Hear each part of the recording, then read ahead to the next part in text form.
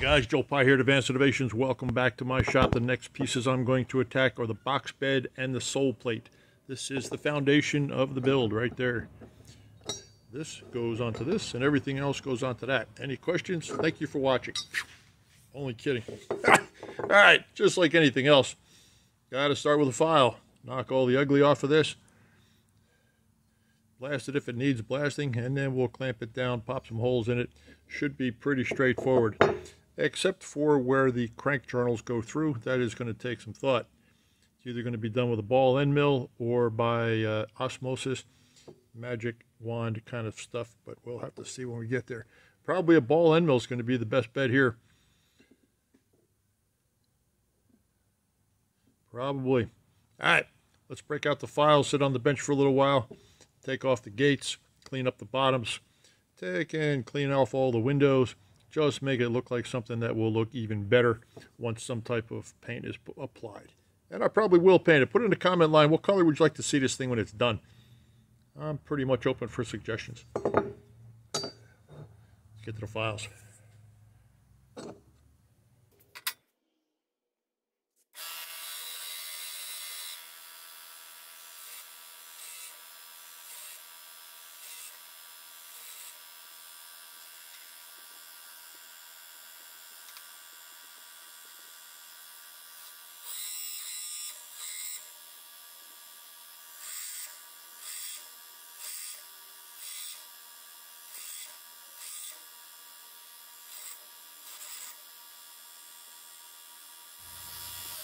This component here is relatively simple. There's really no dimensions given on this with the exception of a few holes. Actually, the holes out here aren't even dimensioned, only the mounting holes for the standards, or excuse me, for the next piece of line. So all I'm going to do is just make sure that it sits flat, which it does not at the moment. File all the burrs off. Same thing with this one. I want this one to sit flat, and then we'll bring in the height, and we'll bring in all the other features on that as well. Got to get the wiggle out of it. Don't want anything binding up when everything gets tight.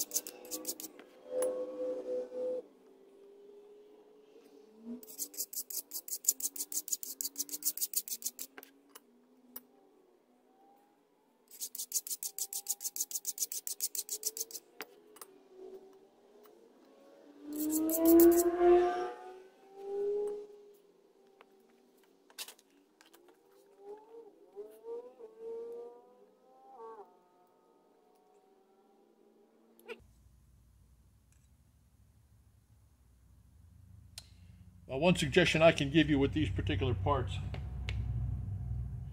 I know I'm going to be very cautious about how I mill the center out of this. There's a lot of material that's going to be coming out of here.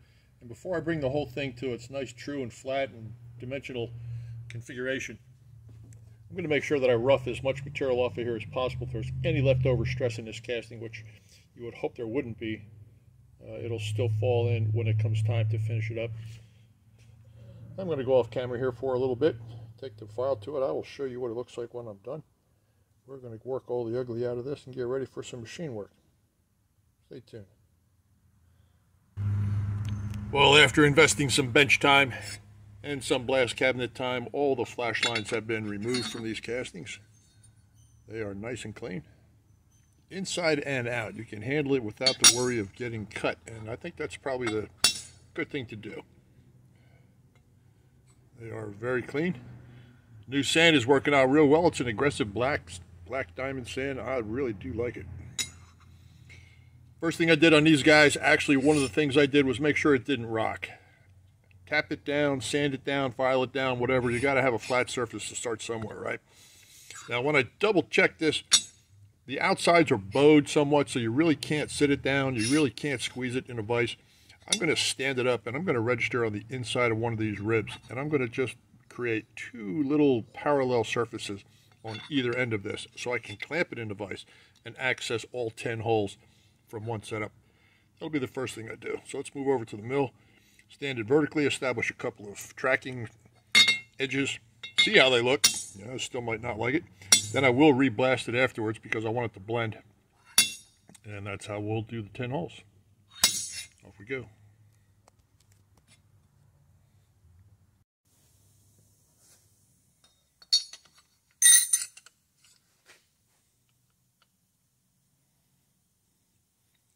I've selected a parallel that I know is small enough to fit in between the radius features on either end of this rib.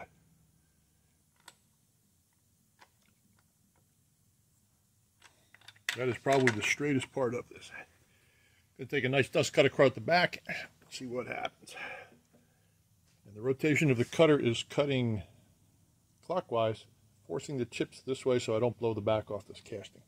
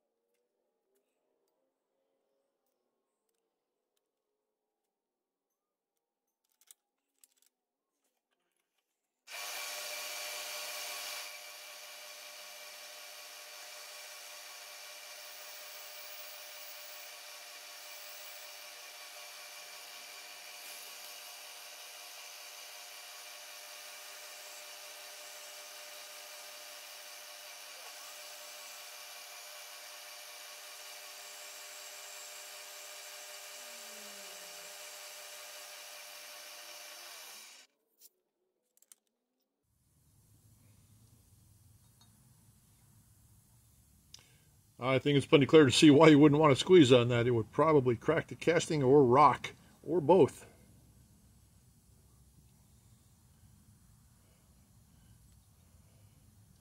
I'm very pleased with the symmetry of that one. That's a nice one. All right, deep burr the edge, blast it, come back. I want to deep burr the edge, blast it, bring it back, and then we'll clamp it down to all the holes. After the blasting up, the cosmetic finish is just about, well, it's to my satisfaction. This model will be painted. I don't know what color I'm going to paint it yet, but it's nice to have the texture there so that doesn't stand out as a machine surface. I am going to gently dust this as soon as it goes back in the setup to make sure that it is flat for the mating part. And drill the holes.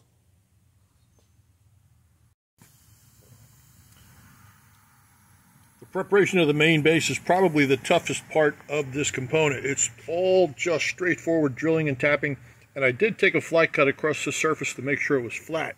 Now when you do something like that, uh, make sure the pressure on the part is not too extreme or the clamping from the ends will bow the top. You'll fly cut it, and when you unloosen the vice pressure, it'll cave back in and you'll end up with a concave surface. So mild enough to hold it, and tight enough to be confident if you're going to get funny little shapes around the windows, it's because of the interruption of the fly cutter. And trust me, I got them too. Thank God for the blast unit. It erases them like they were never there. I took the liberty of spot facing the outer tabs. These are 540 Imperial threads. I just couldn't take any more metric today because I don't want to break out in a rash. These are the 7BAs. That's really small. Well, smaller than I thought it would be and quite different than conventional imperial numbering. As the BA number gets higher, the thread gets smaller. I was surprised to see that. Caught me off guard. Anyway, I'm going to take it out, wash it up, and we'll take a look at it on the bench. Move on to the next component upwards.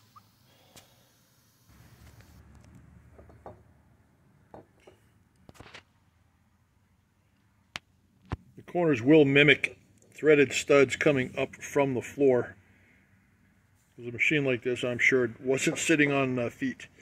So these will, at assembly, not be cap screws. They will just be studs coming up through the bottom with the conventional 540 nuts on it. Next piece in line is this little guy right here. And that looks like this when we start. So just like any other casting, got to figure out what's uh, intended to be left behind, where the center is that you can't change, and go from there. The only feature on this that has any type of scratch your head merit, and it really isn't all that, is this channel that runs right through the center. It is a 7 16 completely round bottom trough, and the only way I'm going to be able to do that is with a special cutter. This guy right here. Shorty little thing, isn't it? That is a 4 flute 7 16 diameter 437 ball end mill. And that should give me the ability to just walk this right across the center of this part actually right across the center of this part and form that trough right there. The casting that they give you that goes down in this feature is actually a 7 16 net shape. So we're going to make sure that fits before we go and click our heels just like the other one all I did on this so far was to straighten up the bottom set it on a surface plate make sure it doesn't rock now I'm going to do a little mechanical inspection and see what needs to come down, mark it up as such, and get after it. Just like the last component I did, the first feature I will put on this uh, is a tracking surface in the back and one on the bottom because I intend to hold it so that the journal cuts are on the x-axis travel. So some very superficial cuts here and on the other side, clean it up, deburr it, then I'll lay it down. Uh, apparently there's a very superficial, maybe half a millimeter, 20 thousandths of an inch coming off of these surfaces. Everything else is net shape, and we'll go from there.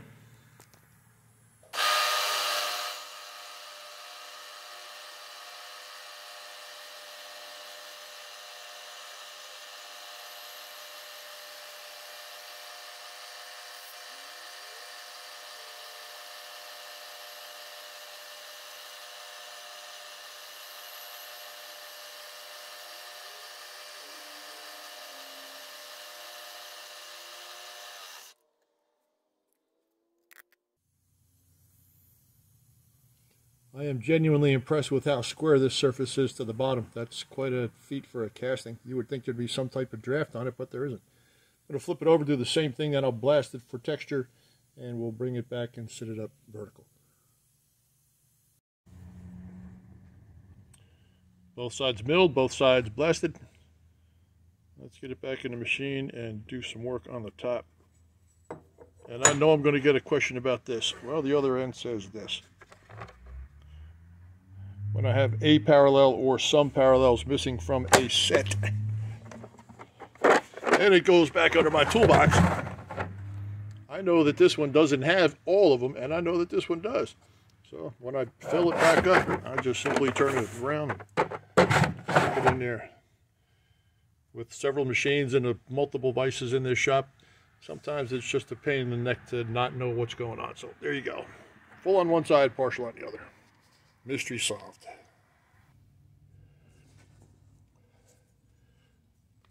Moving on to the drilling operation, it's really nice when there's numbers on the print that you can dial your dials to hit, and when there's not, well, I guess that's a rabbit hole you're just going to have to go down. There are no numbers on these guys right here with the exceptions of the half inch centers. So half inch hole a hole in four different places. The inch and an eighth off center course, that's no big deal because that matches the standard. But where is this? Where is this located? It is located on the center of the crank. This guy right here. So with all the dimensions that they give you, figure out what the center line is from journal to journal, and that is in fact what the center line is between these features right here. All right, not a big deal, right?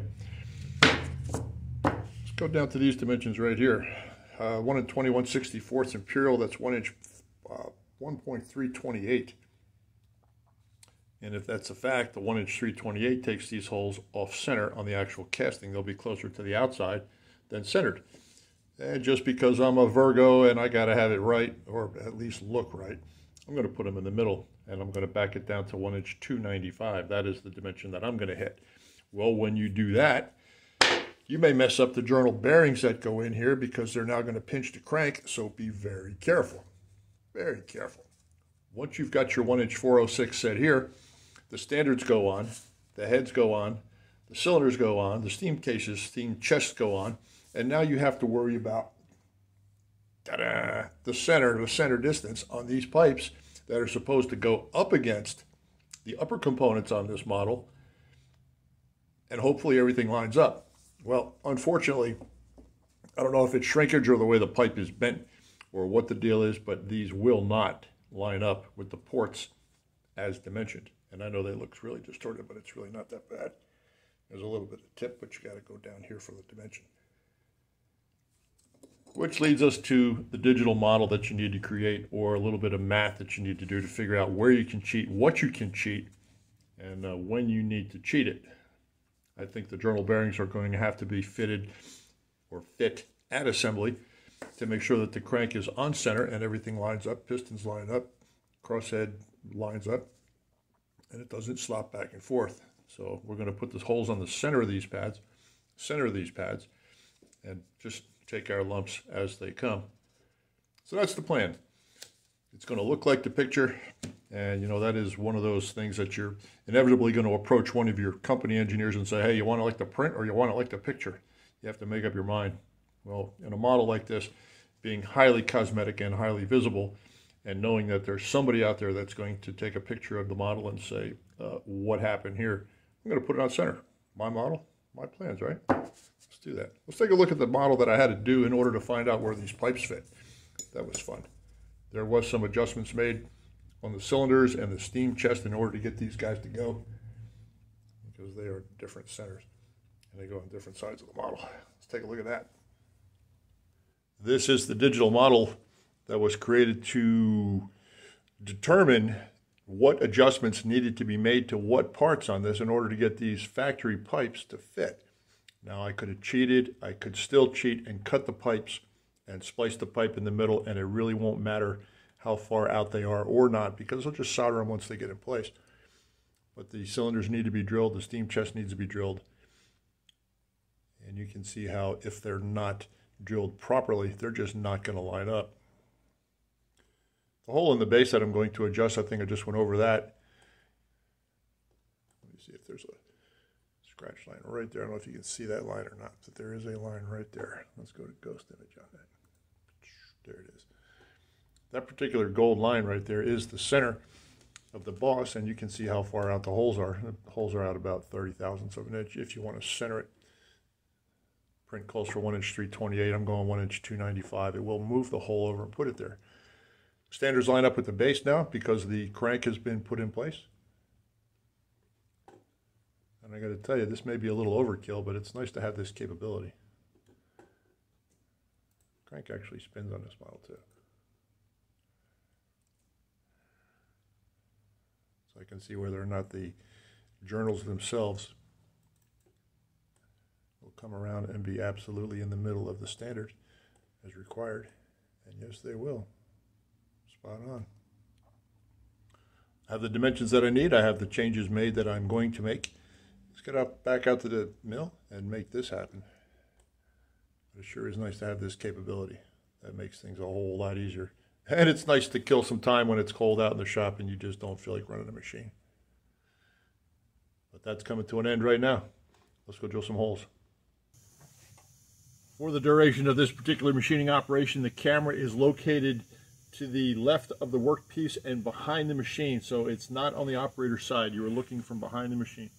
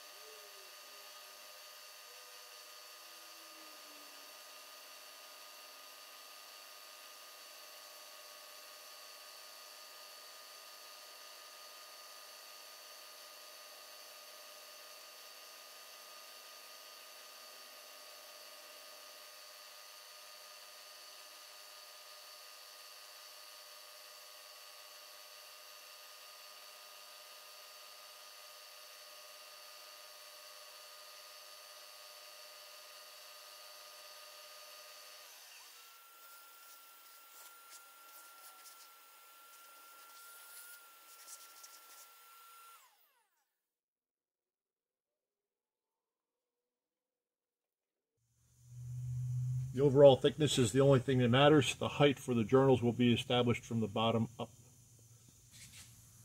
In order to find the center of the casting, I'm going to sweep the insides of the jaws and then just gently touch the outside and compare it to the reading on the inside for symmetry. I'm going to assume nothing at this point, but I know that I can sweep the jaws, get the center line for the y-axis,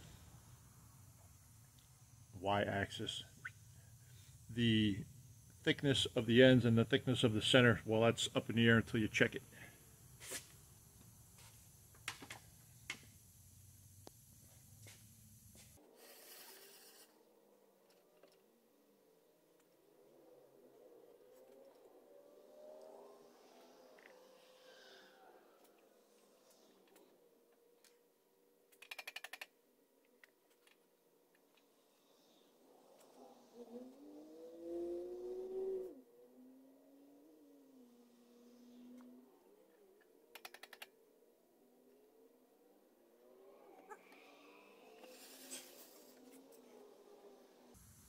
Now, in the off chance that there's any draft on the outside of this, I'm going to check the top as close to the top as I possibly can. I am very much opposed to using an indicator on a cast surface, but for this initial alignment, I think it's warranted.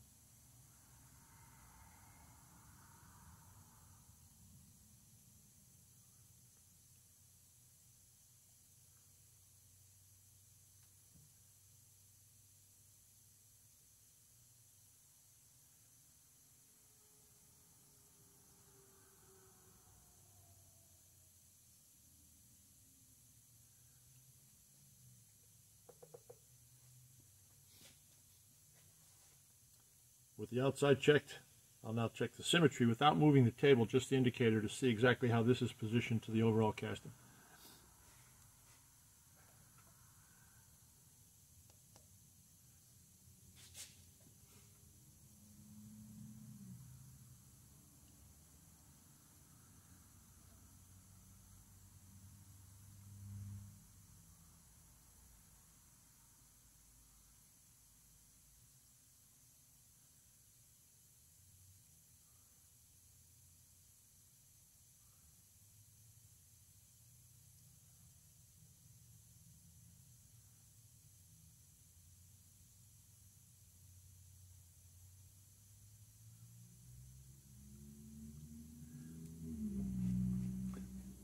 Center boss does have much more of a draft than the outside. It's about two thousandths of an inch off center. I'm going to stay with the outside casting and just go with it as is.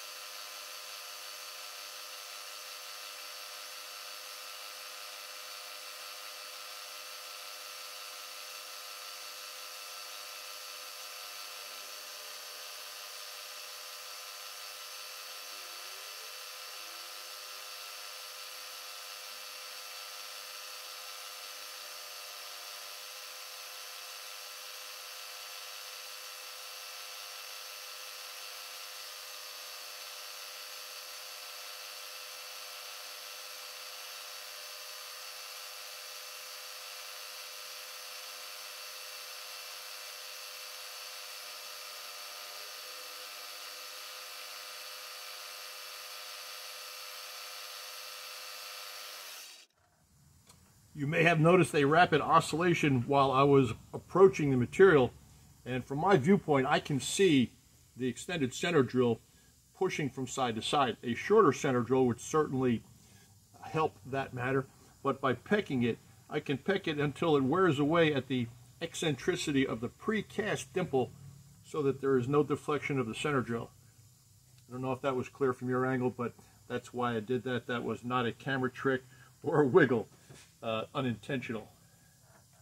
These are the holes that hold it down to the main base to give the crank room to do its thing and the flywheel room to spin freely.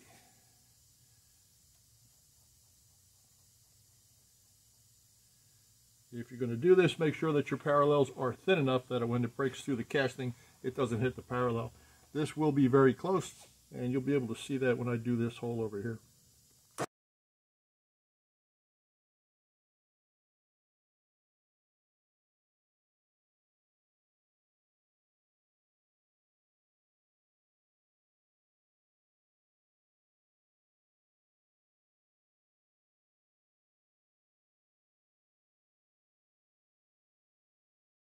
I'm going to take a quick look at the blueprint and see exactly what type of feature goes on here at assembly and counter bore or spot face it accordingly. I'll be right back.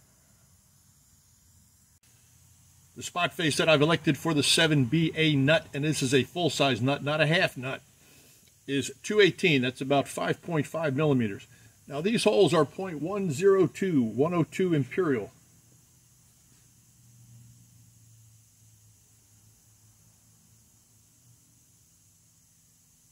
2.6 millimeters through. That is good if the threaded stud is completely threaded, but if you're using a 7BA stud and it's threaded on a larger piece, make sure you mic the non-threaded section or these 102 holes will not work. So make sure the stud coming up through there is fully threaded or compensate the drill accordingly. We'll spot face all six of these holes and then we'll put the slot in the center.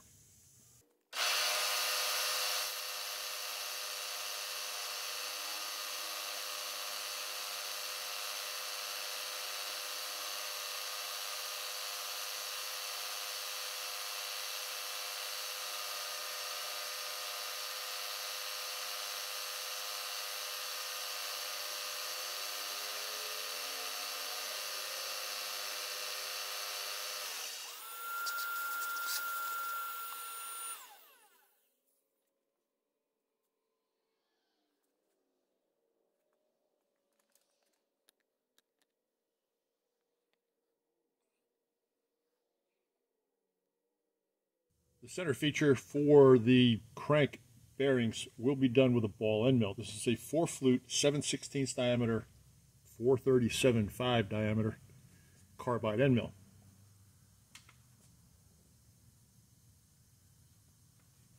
That is just a little bit bigger than 11 millimeters.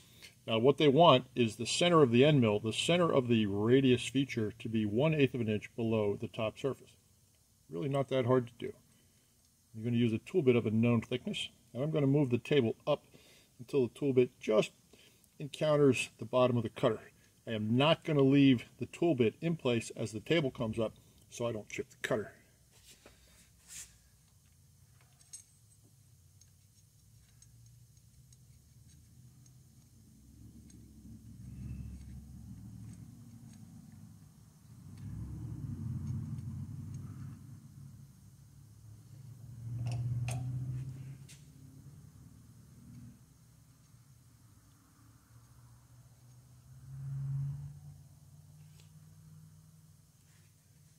Tool bit will not pass underneath that cutter right now. It may if I push it, but I'm not going to push it. I want just a gentle encounter. I do not want to scratch anything, break any edges. I'm going to set my table zero right now.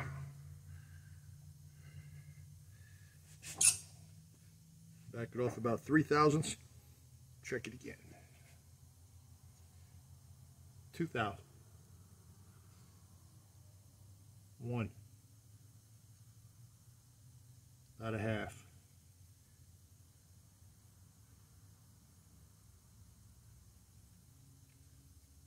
Very close to exactly what I'm looking for. Right there. Gotcha. Now at this point you raise the table the thickness of your tool bit or your spacer block and that puts the ball end mill right on this surface. Then you raise the table some more and it puts the center of the ball end mill on the edge or on the surface that you just registered from. Naturally that encounter, that move has to be the radius of the cutter. In this case it's 218. And then from that point you can just go down to the dimension on the print. So I'm going to go 250 down to get the bottom of the cutter to this plane.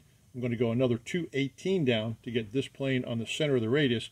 And then I'm going to go another 125 down to put the center of the radius 125 from the top surface.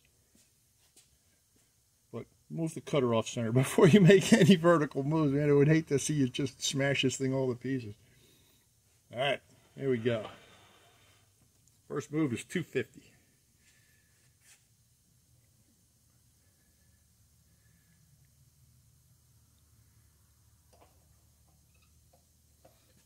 Right now the bottom of the cutter is even with the top surface of the, of the part.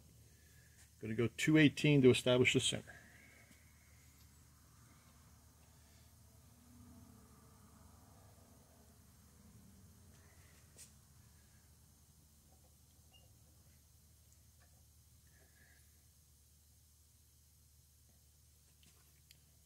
Center is now on the top plane. 125 for the dimension on the print.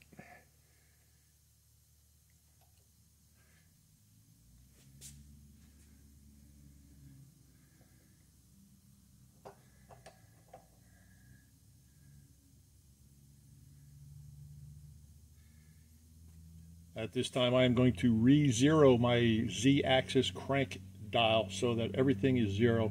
I'm going to raise it up a little bit because I'm going to walk back and forth with this cutter, uh, not moving the cutter on the Y-axis. You are looking straight down the X-axis at this point, left to right.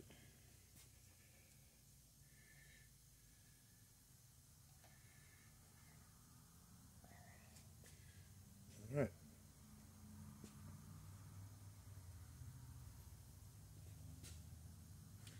Good to me. Let's do it.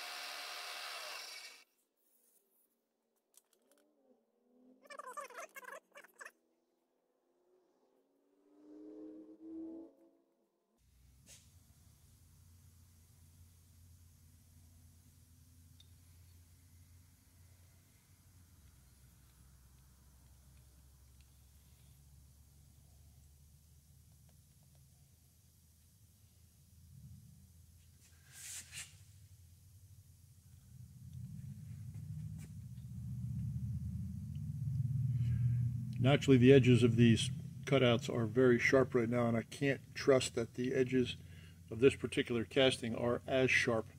So until this is deburred, there's really no way to tell if it's going to go in.